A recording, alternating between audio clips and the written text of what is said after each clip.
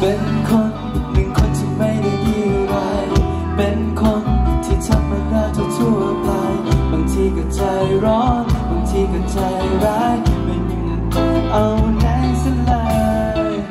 วันวันก็ใช้ชีวิตมันเรื่อยไป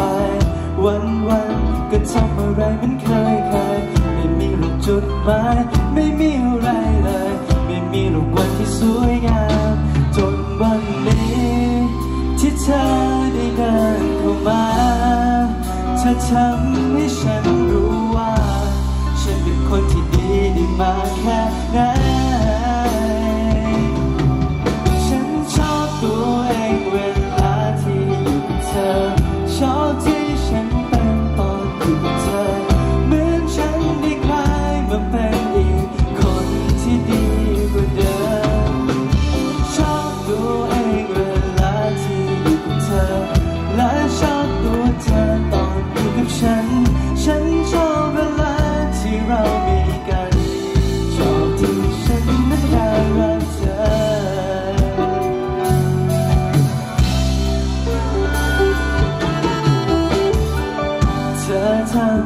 คนที่ไม่มีหัวใจ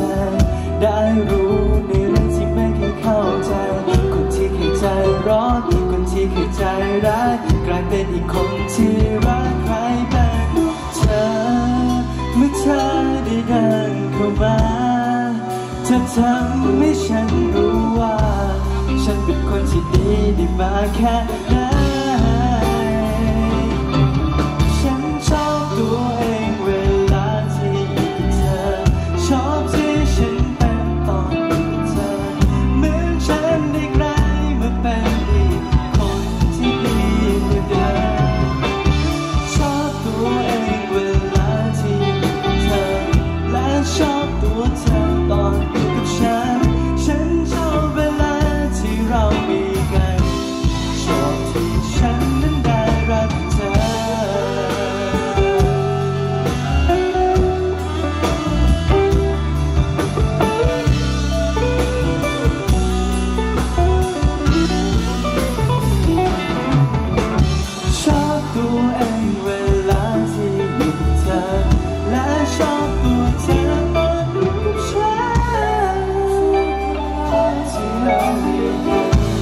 ชอบที่ฉันนั้นได้รักเธอ